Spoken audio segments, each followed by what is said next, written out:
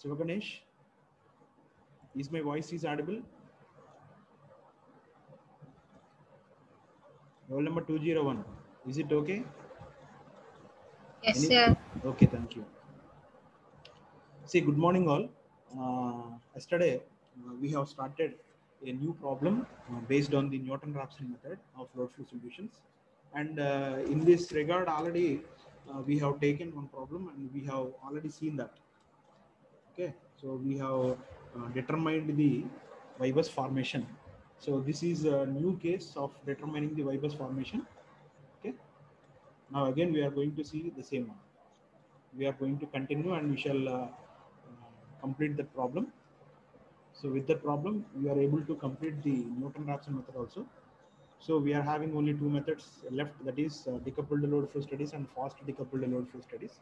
And with that, we are going to conclude the second chapter. Okay.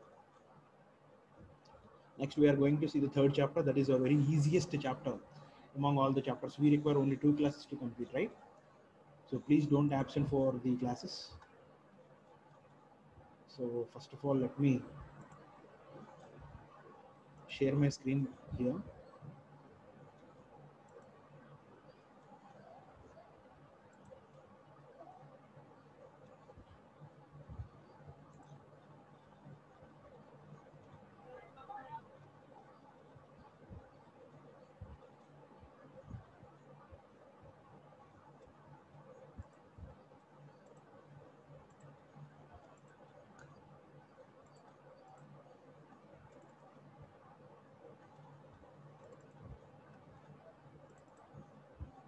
Just wait a moment. I will open.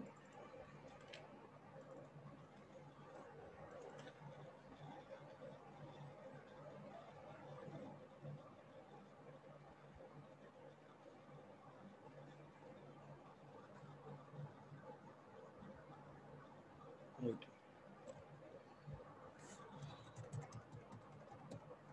So I think uh, this is the problem that we have started and uh, as far as far as the formation of Y-bus is concerned, you will have only the information regarding the series line impedance and the total shunt, uh, shunt admittance. So once again, I'm going to say that how do how do we obtain uh, series admittance?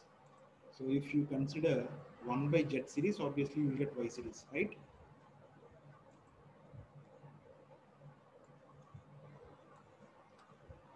Now Y11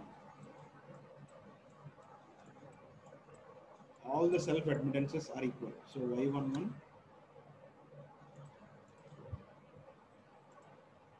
is equal to y22 is equal to y33. So what is that? Which is equals to already I have given you that value also that is equal to 24.23 at an angle of minus 75.95.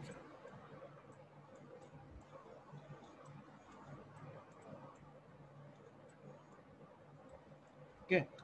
Next, uh, all the uh, remaining elements, that means upper half diagonal elements and uh, lower half diagonal elements. So upper half diagonal elements are y12, y13 and uh, uh, y23.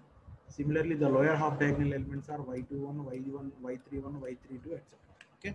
So all the self admittances values are equal and all the mutual admittances values are equal. So y12, y13, y21, y23,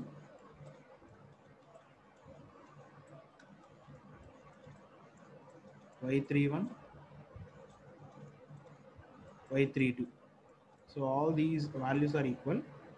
So according to this, now what's the value? That is 12.12. See, already we have determined these values. I told you in the last class itself. Again, I don't want to discuss those topics again. So 101.40, 104.03. Okay. Now with these values, you can form the Y-bus formation, right? Now we are going to see the next. Mean, next we are going to consider the second step, right? Please note down these answers.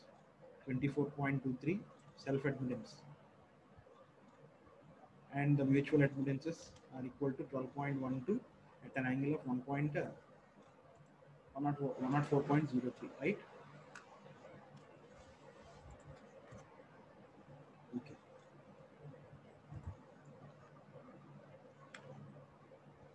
Now we are going to calculate the real power loss and reactive power loss at second bus.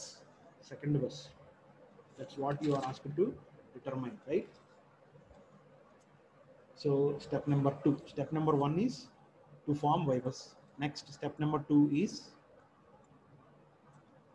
first of all we have to note down the values or assumptions what we are going to have. V2 is equal to 1.0.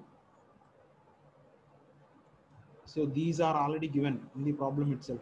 Please consider. So even though if you are not having the information regarding the V2, but uh, initially we are going to assume the flat voltage start. So that's why according to the flat voltage start, we are going to have V2 is equal to 1.0. So without assuming that, so, so some of you are having some doubts are what happens if we are not going to assume uh, the flat voltage start. Why? Because uh, if we want to proceed with the further uh, solution, obviously you have to assume why? Because that is the initial uh, estimates, initial estimates. Okay, but that is not the correct value but those are initial values, initial solutions. Why V3 is already given that is equal to 1.04. Similarly, delta 2 is equal to delta 3 is equal to 0. And delta 1 is directly given. So delta 1 is equal to 0 and V1 is already given. V1 is a slack bus, so V1 is equal to 1.04, I think so. So these are the given values already given in the problem itself, right? Now you know what is V1, what is V2, what is V3, what is delta 2, what is delta 3, delta 1. So these are the initial estimates you need to assume before going to determine the real power loss at ith bus and reactive power loss at ith bus. Next, third step is we know that already we know that. So pi is equal to formula. This is already we have solved in the uh, theory itself. So k is equal to 1 to n. K is equal to 1 to n. Mod vi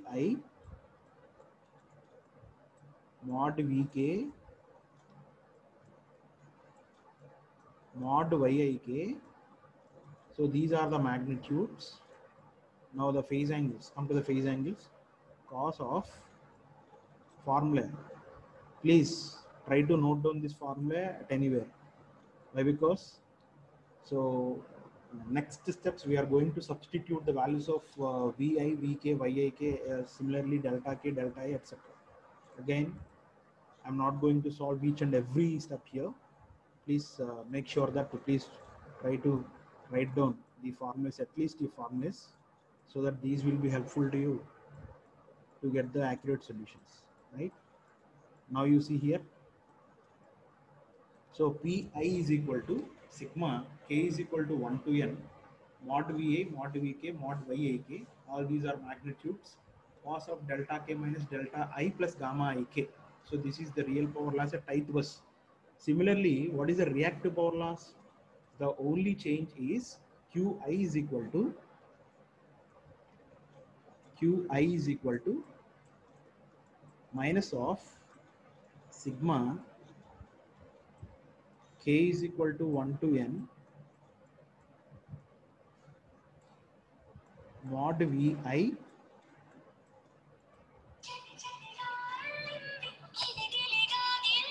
just wait a moment.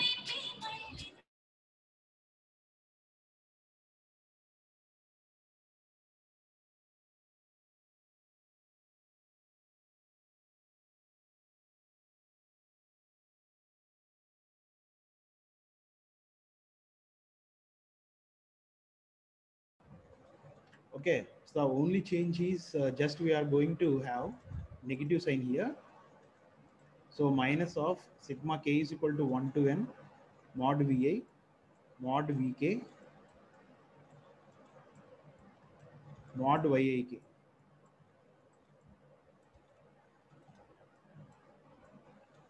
multiplied by sine of same. The angle should not be changed. So delta k minus delta i plus gamma ik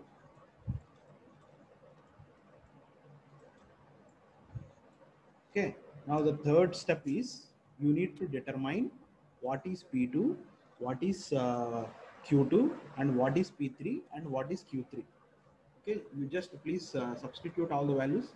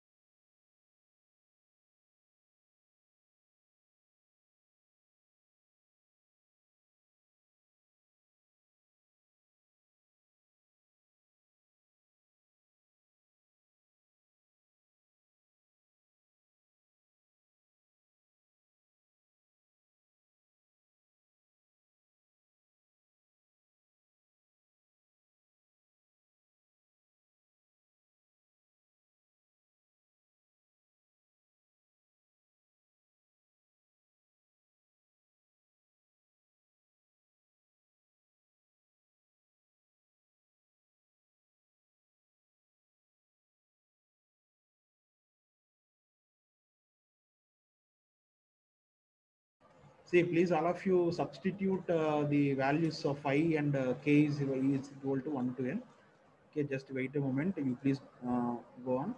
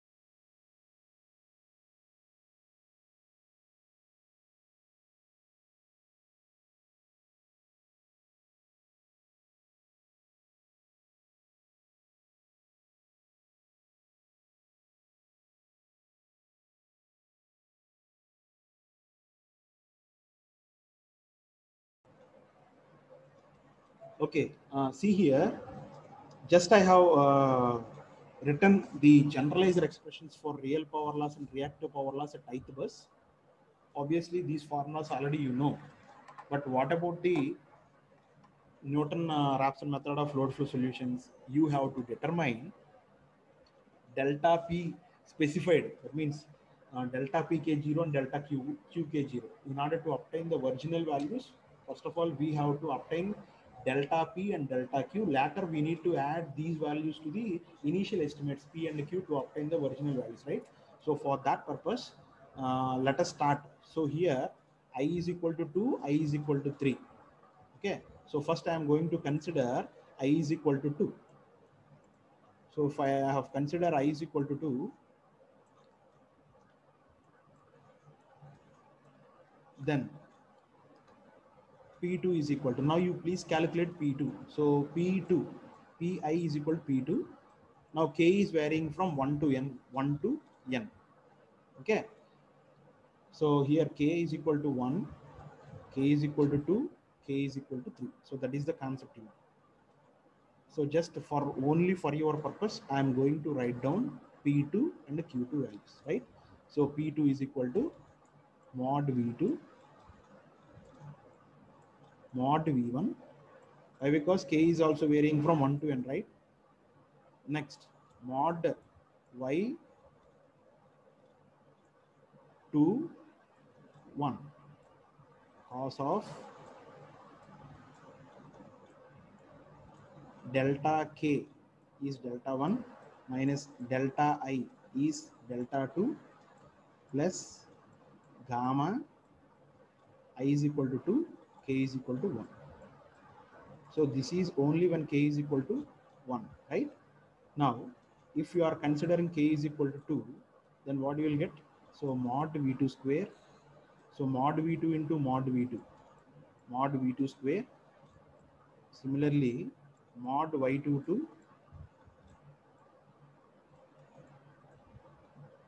into cos of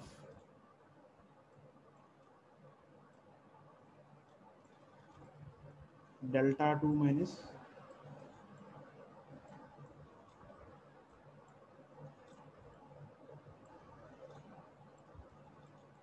gamma 22 plus. So this is for k is equal to 2 now for k is equal to 3 the case is here. Mod v3 mod v2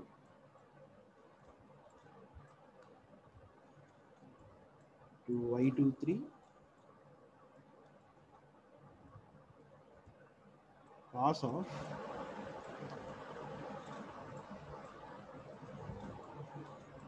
delta 3 minus delta 2 plus gamma 2 3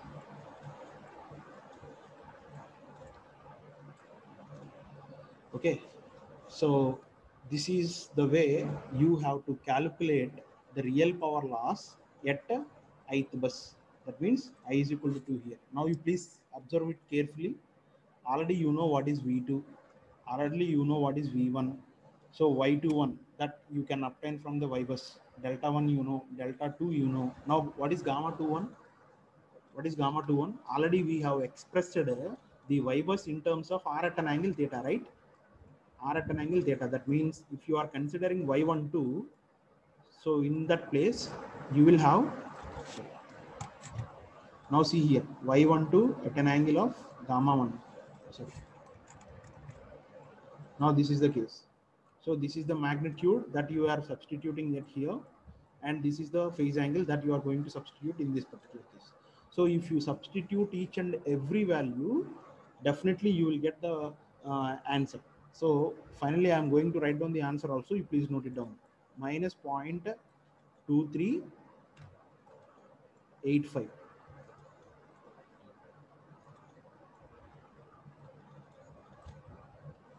Okay, I is equal to 2. At I is equal to 2, the real power loss P2 is equal to minus uh, 0.2385. Okay. So this is P2 0 initial estimate please note it down. So while we are discussing about the generalized formula, there we are discussing about delta x1, sorry, x10 and x20. So those x10 and x20 values are called the initial solutions. Okay, but those are not original values. So in order to obtain the original values, later we are going to determine delta x10, delta x20, and we need to add delta x10 to x10 to obtain x21.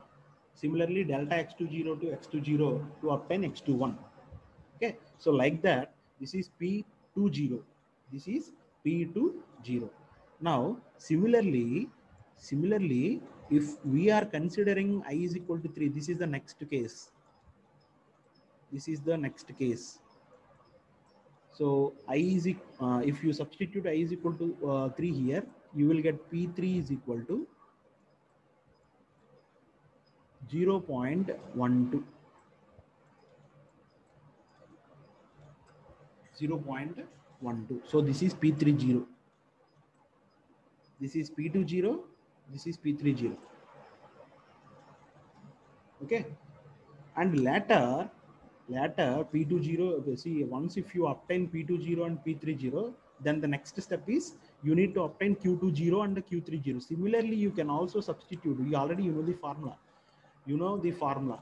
So if you simply substitute all the values in this, you will get this one. Q20 is equal to Q30 this. So Q20 is equal to minus 0.96.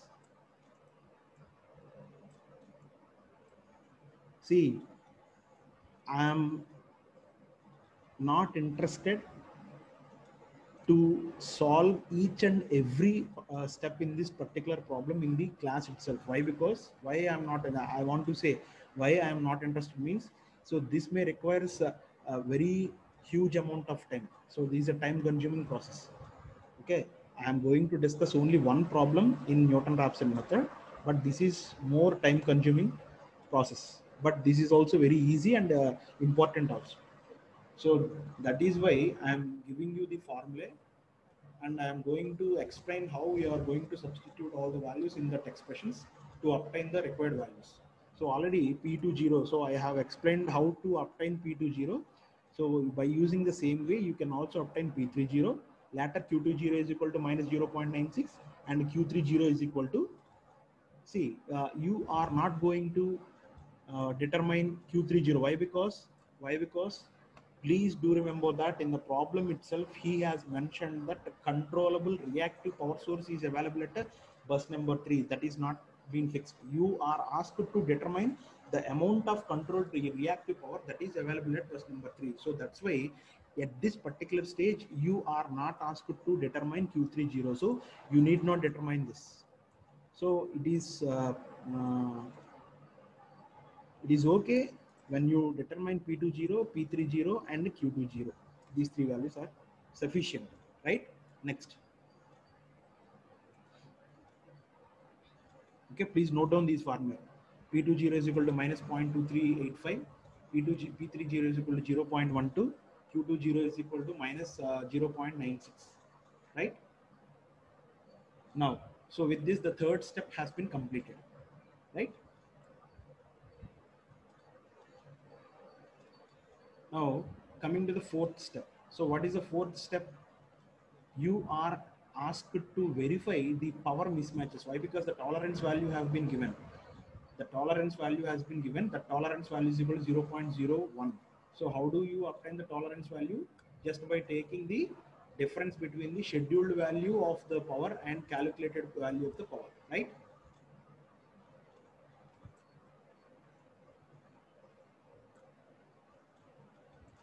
Now here P20 is equal to this one.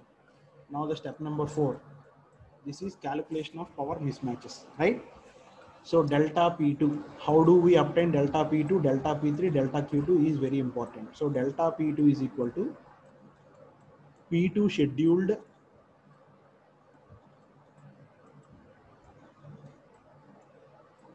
minus P2 calculated.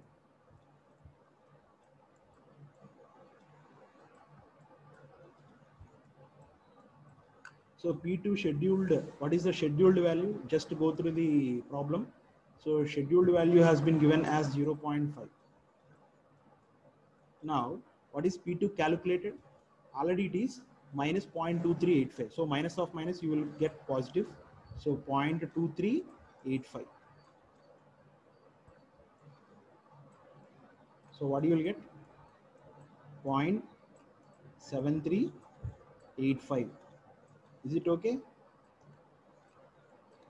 Similarly, you can also obtain delta P3 by taking the difference between P3 scheduled minus P3 calculated. So delta P3 is equal to, finally I'm going to write down the answer.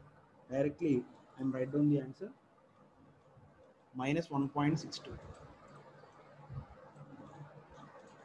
Now delta Q2 is equal to, again, this is also, this can also be obtained by considering the difference between Q2 scheduled minus Q2 calculated, right? Obviously, the answer is 1.96. Okay. Please verify these answers whether these are correct or not.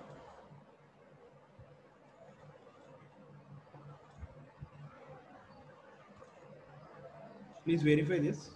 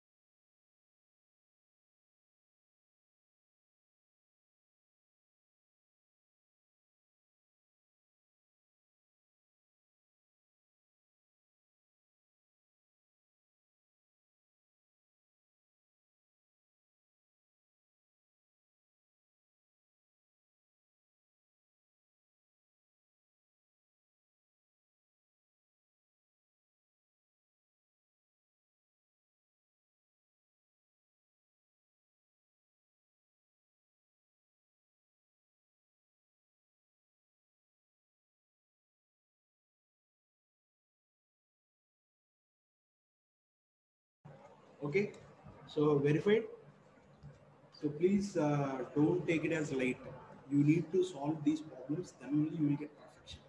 Otherwise you won't get perfection right? So that is the importance of uh, having the problematic subjects in your curriculum right? Now please verify. So after obtaining all these after obtaining all these uh, functions, mean values delta P2, delta P3, delta Q2, now we are going to determine the Jacobian matrix and the required solutions. Required solutions. Now we will see one by one.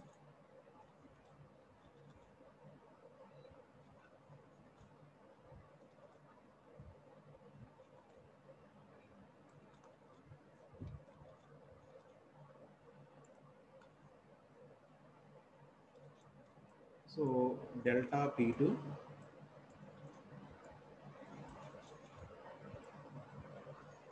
delta P3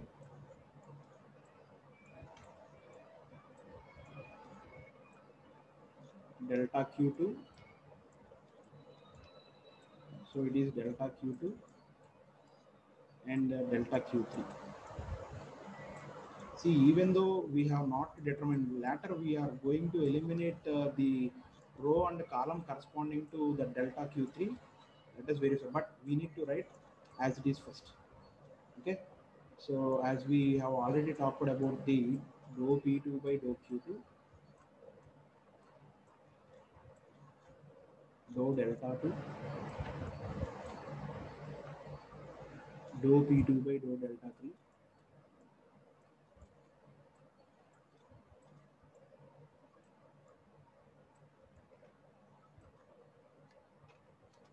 dou p2 by dou v2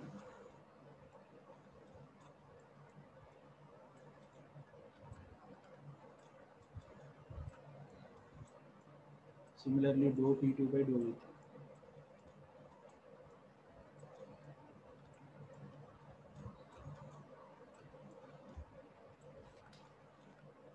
Okay, and uh,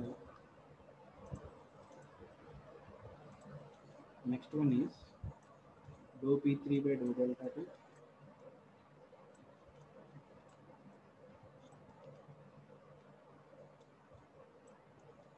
Similarly, dou P3 by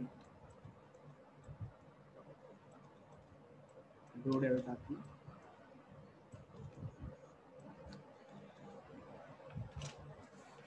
Dou P2 by dou V2.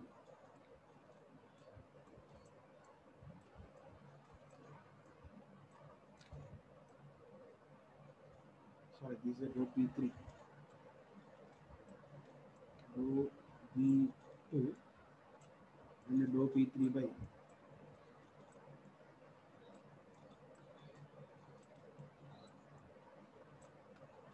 Okay.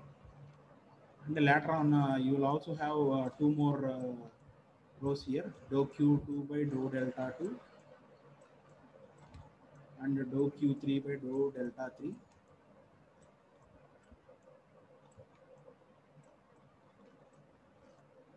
similarly this is dou q2 dou q3 by dou v2 dou q3 by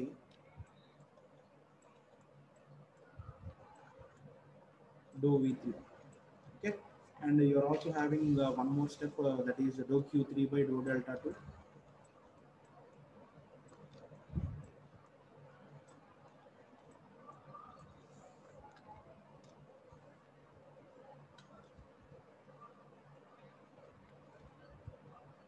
dou q3 by dou delta 3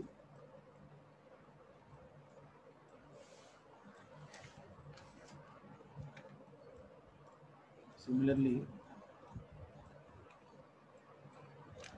dou q dou q3 by dou v2 and dou q3 by dou v3 see here a very important point you need to remember okay so this is uh, multiplied by so you will have one more uh, size that is uh, delta delta 2 delta delta 3 delta v2 and delta v3 right? So here a very important note point is for a voltage control bus already in the given problem he has mentioned that the voltage control bus is bus number 3 where the voltage magnitude is specified the voltage error is equal to see if the voltage magnitude is specified means there is no error initially. So obviously delta VA is equal to zero. That means the column corresponding to the last, I mean V3 is and the row, row and column gets cancelled and the size of Jacobian matrix will be reduced by one. So 4 by 4 becomes 3 by 3. So that's why you do not uh, have to uh, determine the value of uh, delta Q3 also. Okay. So the only thing is this is the matrix. Now you are going to eliminate. Now dou P2 by dou delta 2. How do we obtain dou P2 by dou delta 2? Already in the previous step, we have determined the expression for P2 that is equal to V2 V1 Y21 cos of. Okay. అదంతా ఉంది కదండి again you need to consider the same expression and later you need to apply partial differentiation with respect to delta 2 then you can able to obtain dou p2 by dou delta later you can take the same expression do the partial derivative with respect to delta 3 and later do the partial derivative with respect to v2 similarly you can take p3 expression for p3 and expression for q2 so likewise you are going to get nine values nine values so after getting all these values then you can able to determine what is the uh, corrections. That means so delta delta 2 delta delta 3 and delta v2 so these are the differences you need to add. These are the values actual values actual values that you must add to the initial estimates to get the original solution. Is it not? Is it clear? Is it clear right. Now please uh, do uh, find all the values dou p2 by dou delta 2 dou p2 by dou delta 3 dou p2 by dou v2 so definitely if possible i shall give you the same problem in the mid exam also. Okay don't leave this problem. Directly i will give you this question for I mean complete marks 10 marks right? Okay so already we have determined. Now consider the again same already we have determined the delta p2 that is equal to 0.73 step number 5 so 0.73 minus 1.62 1.96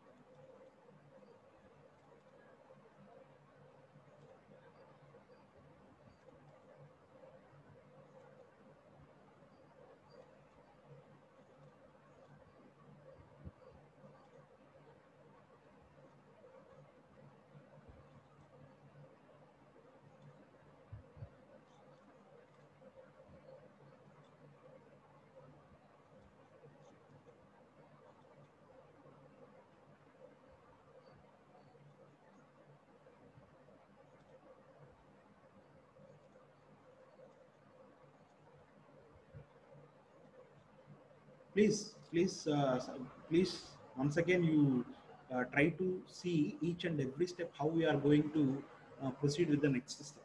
Okay? Please don't wait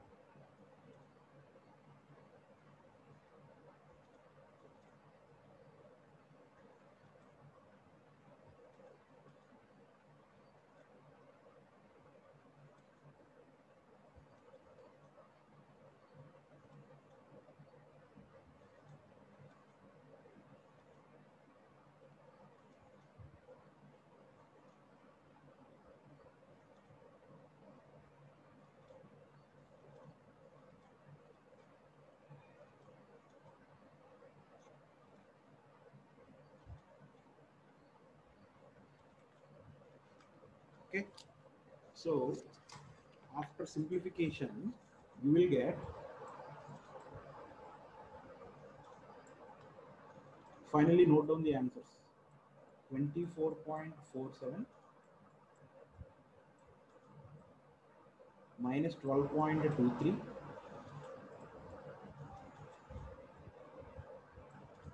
5.64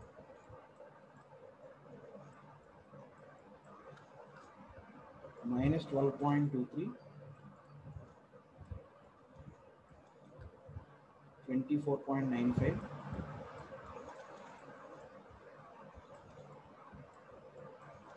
minus 3.05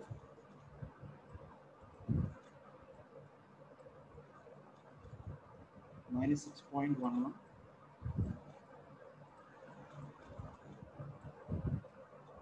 similarly 3.05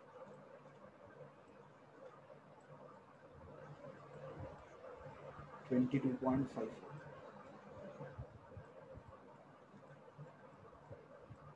okay.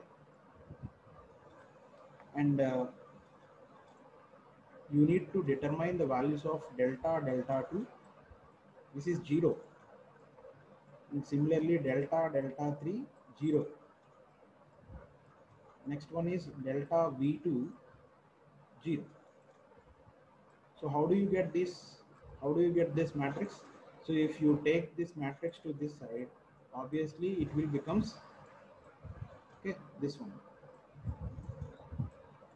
So this is 3 by 3 and this is 3 by 1 if you multiply this with uh, this matrix obviously the final answer will be 3 by 1 only. But the only thing or the only difficulty is you need to determine the inverse of this 3 by 3 matrix. Okay inverse of that 3 by 3 matrix. So we shall wind up this section now tomorrow tomorrow okay tomorrow we will discuss the uh, the remaining part of this problem and we shall wind up this particular uh, concept by tomorrow itself. And we will have only two uh, topics that are left the first one is uh, FDLF and the second method is uh, decoupled load flow studies okay? So one more important theory question is also there. There is a comparison between all the load flow solutions this is a very very very important question De definitely you may expect the same thing in your uh, uh, the mid exam as well as the external exam also. Compare or explain the differences between the various load flow solutions or power flow solutions. This is a very very important topic. I'm extremely sorry for interrupting uh, so many interruptions are there. Why? Because today i'm in the department uh, for uh, seeing the department activities. So that's why today we are getting more interruptions. I'm sorry for this, but you please uh, practice this problem and please try to solve this problem also, right? Thank you.